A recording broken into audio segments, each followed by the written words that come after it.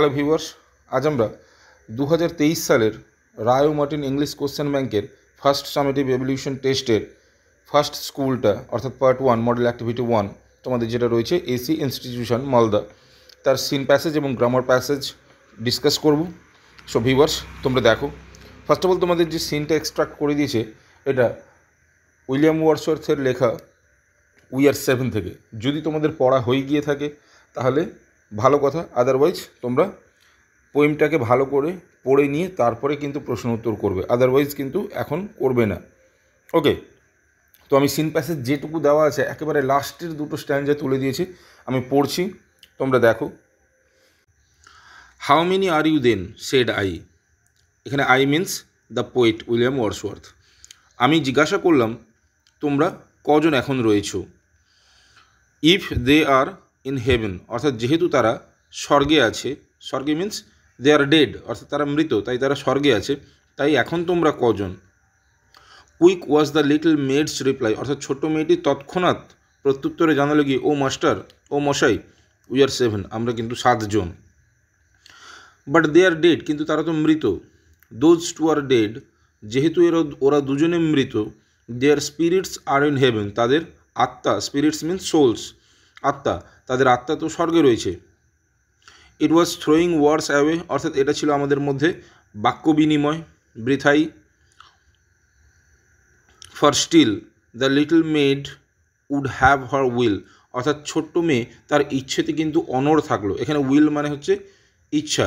Okay okay and সে এবং বলল, নে উই আর সেভেন না, আমরা সাতজন।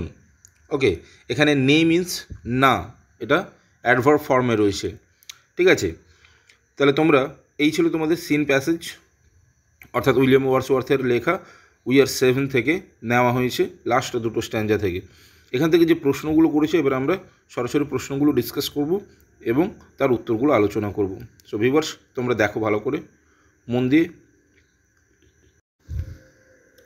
দেখো, প্রথম যে প্রশ্ন রয়েছে, এর দাগে choose the correct answer from the given alternatives অর্থাৎ যে অল্টারনেটিভগুলো দেওয়া আছে, ওখান থেকে সঠিক উত্তর বেছে নিয়ে লেখো। দেখো, O master we are seven here master refers to কাকে বলা হয়েছে?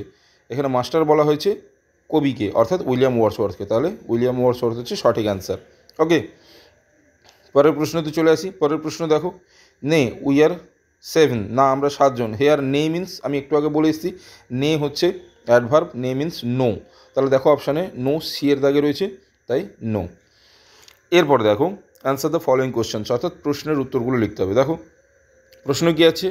Why does the girl say we are seven মেয়েটি কেন বলেছিল আমরা সাতজন? ঠিক আছে, তাহলে আমরা কি লিখব? যেহেতু সেই মেয়েটা মৃত্যু সম্বন্ধে কিছু জানে না, তাই সে বলেছিল যে, তাই সে ভেবেছিল তার ভাই এবং বোন জীবিত। ঠিক আছে, তাহলে অ্যান্সারটা এরকম লিখব। The girl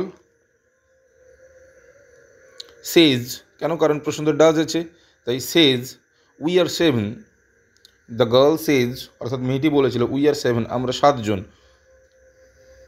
we are seven because কারণ?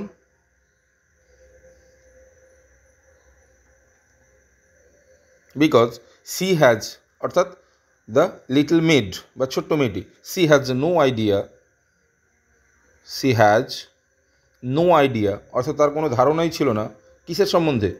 অ্যাবাউট ডেথ আইডিয়া কিসের সম্বন্ধে ছিল? অ্যাবাউট ডেথ মৃত্যু সম্পর্কে, তাই অ্যাবাউট ডেথ মৃত্যু সম্পর্কে তার কোনো ধারণা ছিল না। এবং সে বিশ্বাস করত অ্যান্ড সে বিলিভস সে বিশ্বাস করত, সি বিলিভস দ্যাট তার ভাই এবং বোন বেঁচে আছে। তাহলে হার ব্রাদার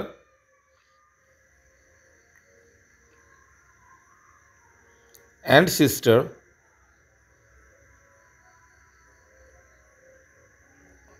জায়গায় কুলাবে না, নিচে লিখে দিচ্ছি, দেখে নাও আর স্টিল অ্যালাইভ অর্থাৎ তারা বেঁচে আছে আর স্টিল অ্যালাইভ তাই সেই কথাটা বলেছিল যে we are seven still alive অর্থাৎ তার ভাই এবং বোন জীবিত।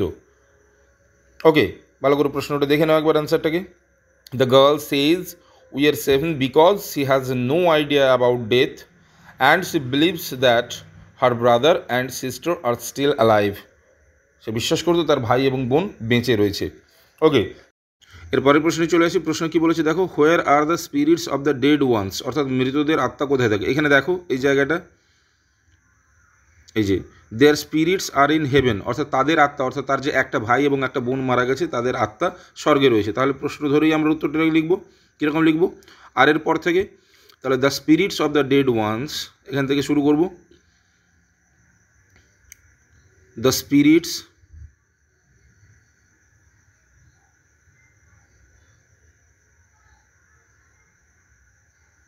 of the dead ones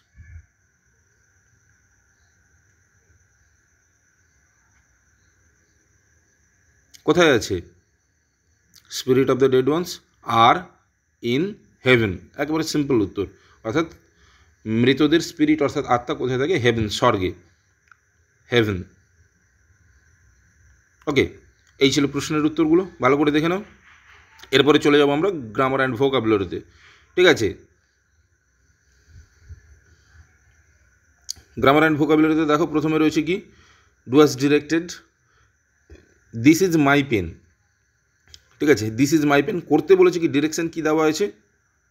Identify the pronoun and classify it অর্থাৎ প্রোনাউনের কোনটা ভাগ এটা, তাকে খুঁজে নিয়ে কী ধরনের প্রোনাউন মেনশন করতে মাইন তোমরা জানো আই যদি প্রোনাউন ফর্ম হয়, তার পজিটিভ অ্যাডজেক্টিভ হচ্ছে মাই এবং পজিটিভ প্রোনাউন হচ্ছে মাইন তাই মাইন আছে, তাহলে কী হবে? পজিটিভ প্রোনাউন পজিটিভ প্রোনাউন যদি পজিটিভ অ্যাডজেক্টিভ হতো, তাহলে কী হতো? মাই হতো। যেহেতু মাইন আছে, তাই পজিটিভ প্রোনাউন তোমরা কিন্তু এটা ভালো করে প্র্যাকটিস করবে কিন্তু ওকে পরেরটা দেখো villagers are dash quite than the cities এখানে দ্যান আছে দ্যান কখন ইউজ করি আমরা ডিগ্রি চেঞ্জে কম্পারেটিভ ডিগ্রিতে অর্থাৎ যখন তুলনা করি, ঠিক আছে? তাহলে আমরা জানি কি কম্পারেটিভে কী হয়? মূল অ্যাডজেক্টিভ ফর্মের সঙ্গে বেসিক্যালি ইয়ার যোগ হয়। তাহলে কোয়াইট থেকে কী হবে? কোয়াইটার তাহলে ভিলেজার ভিলেজার্স আর কোয়াইটার ওকে এরপরে দেখো থ্রি আইতে কী বলেছে দেখো? I can only tell you dash little এখানে করতে বলেছে কি? Complete the sentence with adverb adverb কী হবে? ভেরি ভেরি লিটল ওকে এরপরে দেখো। এখানে দিয়েছে ওয়াটার ইজ ড্যাশ লিকুইড এখানে সাফিক্স লেস যোগ করে শব্দ করতে বলেছে। এটা তোমাদের রিভিশন লেসনের অ্যাক্টিভিটি এইটে কিন্তু এগুলো দেওয়া আছে সাফিক্স ফর্মগুলো ঠিক আছে? প্রথমটাই আছে কালারলেস অর্থাৎ কালার তার সঙ্গে লেস কথাটা যোগ হয়ে গেলো। কালারলেস তাহলে জল হয় কালারলেস লিকুইড ওকে এরপরে তিনের দাগে দেখো, এটা ভোকাবুলারি দিয়েছে find out the word from the poem poem থেকে লেখো সোলস আমি একটু আগে বলে দিয়েছিলাম সোলস মিন্স কি? আত্মা। তাহলে দেখো their spirit are in heaven তাদের আত্মা স্বর্গে রয়েছে। তাহলে সোল থেকে হবে কি? সোলস থেকে হবে কি? স্পিরিটস দেখো।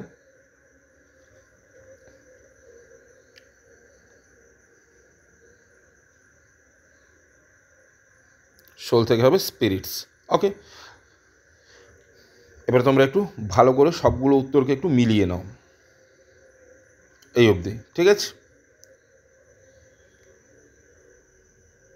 সো ভিউয়ার্স এই ছিল আজকের সিন প্যাসেজ এবং গ্রামার পোর্শনের সম্পূর্ণ ভিডিও যদি ভালো লেগে থাকে, তাহলে অবশ্যই লাইক করে দিও এবং বন্ধুদের সঙ্গে শেয়ার করতে ভুলো না কিন্তু। এছাড়া তোমরা যদি আমার চ্যানেলে নতুন হয়ে থাকো, তাহলে অবশ্যই চ্যানেলটিকে সাবস্ক্রাইব করে দিও পরবর্তী সময়ে এরকম টাইপের ভিডিওগুলো পাওয়ার জন্য। এছাড়া তোমাদের রাইটিং নিয়ে কিংবা গ্রামার পোর্শন নিয়ে যদি কোনো ডাউট থেকে থাকে, তাহলে অবশ্যই কমেন্ট করে জানো আমি সেরকম নেক্সট ভিডিও করার চেষ্টা করব। ওকে সো ভিউয়ার্স আজ এই পর্যন্তই। দেখা হচ্ছে পরের ভিডিওতে। টেল দেন বাই